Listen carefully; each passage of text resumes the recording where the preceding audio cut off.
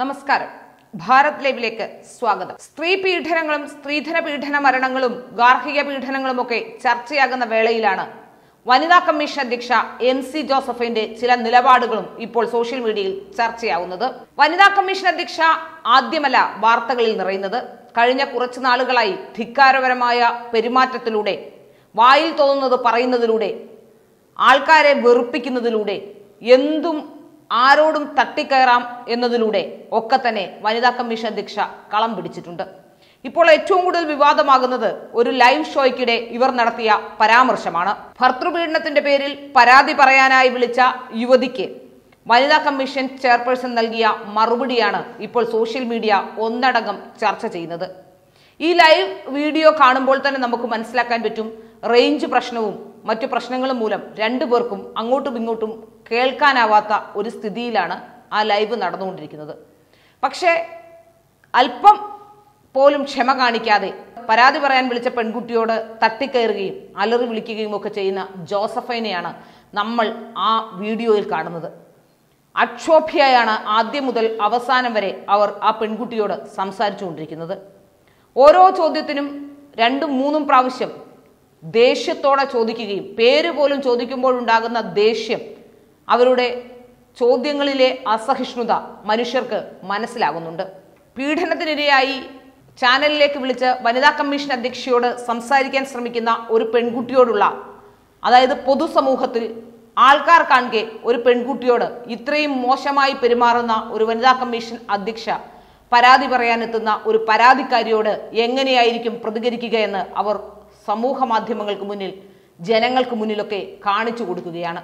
ജീവിതം തന്നെ തകർന്നു പോയേക്കുമോ എന്ന ആശങ്കയിൽ വിഷമിച്ച് അടിയും ചവിട്ടുമൊക്കെ കൊണ്ട് ഇവരുടെ മുന്നിലേക്ക് പരാതി പറയാനെത്തുന്നവരുടെ അവസ്ഥ എത്ര ദയനീയമായിരിക്കുമെന്ന് ആലോചിച്ചു തന്നെ നോക്കണം.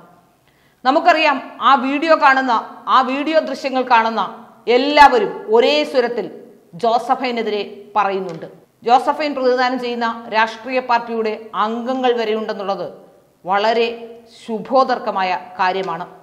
ഇത്തരത്തിലുള്ള പുഴുക്കുത്തുകളെ ഇത്തരത്തിലുള്ള സ്ത്രീകളെ ഇത്തരത്തിലുള്ള സംവിധാനത്തിൽ ജോലി ചെയ്യുന്ന പ്രത്യേകിച്ച് ഇത്തരത്തിലുള്ള സംവിധാനത്തോട് ചേർന്ന് നിൽക്കുന്ന സ്ത്രീകൾക്ക് നീതി ലഭ്യമാകേണ്ട സംവിധാനത്തോട് ചേർന്ന് നിൽക്കുന്ന ഒരു സ്ത്രീ ഇങ്ങനെയാണോ പ്രതികരിക്കുക എന്ന് സമൂഹ മാധ്യമങ്ങളിലടക്കം ചർച്ചയായിരിക്കുന്നു.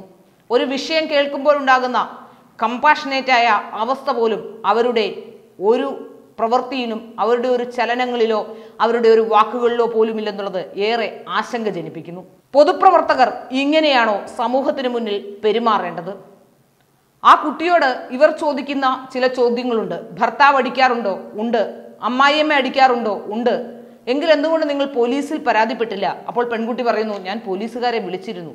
എങ്കിൽ നിങ്ങൾ അടികൊണ്ടോളൂ എന്നാണ് പറയുന്നത്. മാത്രമല്ല ഭർത്താവിനെ ഒന്നും ചെയ്യാൻ കഴിയില്ല. അയാൾ ഗൾഫിലാണല്ലോ. നിങ്ങൾ കോടതിയെ സമീപിക്കൂ. ഇത്തരത്തിലുള്ള ഉത്തരങ്ങളാണ് വനിതാ കമ്മീഷൻ അധ്യക്ഷയുടെ സ്ഥാനത്തു നിന്നുണ്ടാകുന്നത്. വനിതാ കമ്മീഷന്റെ ഓർഡറുകൾക്ക് സമൂഹത്തിൽ ഒന്നും ചെയ്യാനില്ലെന്ന് എല്ലാവർക്കും അറിയാം. പക്ഷേ വനിതാ കമ്മീഷൻ എന്നത് സ്ത്രീകളുടെ പ്രശ്നങ്ങൾ കേൾക്കാനെങ്കിലും ഉപകരിക്കുന്ന ഒരു ബോഡിയായി മാറണം. മറ്റ് തരത്തിലുള്ള നിയമ നടപടികളിലേക്ക് കടക്കാൻ വനിതാ കമ്മീഷന് അധികാരമില്ലെന്ന് ഇവയുടെ വിവരവും ബോധവുമുള്ള എല്ലാവർക്കും മനസ്സിലാകും. പക്ഷേ വനിതാ കമ്മീഷൻ അധ്യക്ഷ ചെയ്യേണ്ടത് കുറഞ്ഞ പക്ഷം നീതിരാഹിത്യം നടക്കുന്നുണ്ടോ എന്ന് ചോദിച്ച് മനസ്സിലാക്കി അവരോട് മാന്യമായി ഇടപെടാനുള്ള ഒരവസരം ഉണ്ടാക്കണം. നേരത്തെയും ജോസഫൈൻ ഇതുപോലെ തന്നെ പല വിവാദ പരാമർശങ്ങളും നടത്തിയിട്ടുണ്ട്. മാത്രമല്ല ഇവരുടെ പല നിലപാടുകളും പക്ഷപാതത്തോടെയുള്ളതാണെന്ന് ആക്ഷേപവും വരുന്നുണ്ട് പാലക്കാട് പത്തു വർഷം അനശ്വര പ്രണയകതയിലെ നായികയാണെന്ന് പറഞ്ഞ പെൺകുട്ടിയെ കാണാൻ പോയ ജോസഫൈൻ ജോസഫൈന്റെ കർമ്മമണ്ഡലത്തിന്റെ മൂക്കിനു താഴെ സ്ഥിതി ചെയ്യുന്ന വട്ടപ്പാറയിലെ പ്രിയങ്കയെ കാണാൻ പോയില്ല. എന്താണ് കാരണം? ഇത്തരത്തിൽ ജോസഫൈന് ഇഷ്ടമുള്ളതായ വിഷയങ്ങളിൽ മാത്രം വനിതാ കമ്മീഷൻ ഇടപെടുകയും വിവേചനത്തോടെ പെരുമാറുകയും ചെയ്യുന്ന ജോസഫൈൻ ഇത്തരമൊരു തൽസ്ഥാനത്ത് തുടരാൻ അർഹയാണോ? സോഷ്യൽ മീഡിയ ഒന്നടങ്കം ചർച്ച ചെയ്യുന്നതും ഇവരെ തൽസ്ഥാനത്തു നിന്ന് മാറ്റണമെന്ന് തന്നെയാണ്. കേരളത്തിലെ സ്ത്രീ സമൂഹത്തിന്റെ മൊത്തത്തിലുള്ള അഭിപ്രായവും അതുതന്നെയാണ്. ഇനിയെങ്കിലും സർക്കാർ കണ്ണു തുറന്ന് കാണണം. ഇവരെ തീർച്ചയായും ഈ സ്ഥാനത്തു നിന്ന് മാറ്റണം. കേരളത്തിലെ സ്ത്രീകൾക്ക് വേണ്ടത് നീതിയാണ്.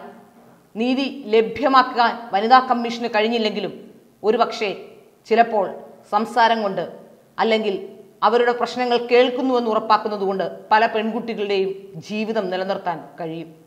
അത്തരത്തിലുള്ള ശ്രമങ്ങളാണ് വനിതാ കമ്മീഷൻ അധ്യക്ഷയുടെ സ്ഥാനത്തു നിന്നും ഉണ്ടാകേണ്ടത്. ഏതായാലും പല വിവാദ പരാമർശങ്ങളിലൂടെയും കളം പിടിച്ച ജോസഫൈനെ മാറ്റണമെന്ന് തന്നെയാണ് എല്ലാവരുടെയും അഭിപ്രായം. അതിനുള്ള ആർജവം സർക്കാർ കാണിക്കുന്നുണ്ടോ എന്നാണ് ഇനി അറിയേണ്ടത്.